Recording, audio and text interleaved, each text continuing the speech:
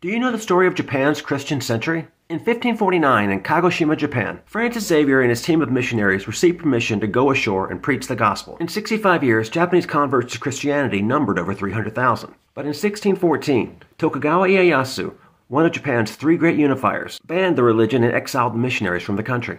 The religion would be driven underground under penalty of death, creating tens of thousands of martyrs. My name is Walt Mussell, and I write historical fiction set in medieval Japan. I also do free lectures on Japan's Christian century. Please reach out to me via my profile links to find out how Japan became the jewel of missionary efforts in the Far East and then became as forbidden as the Garden of Eden. Thank you for watching.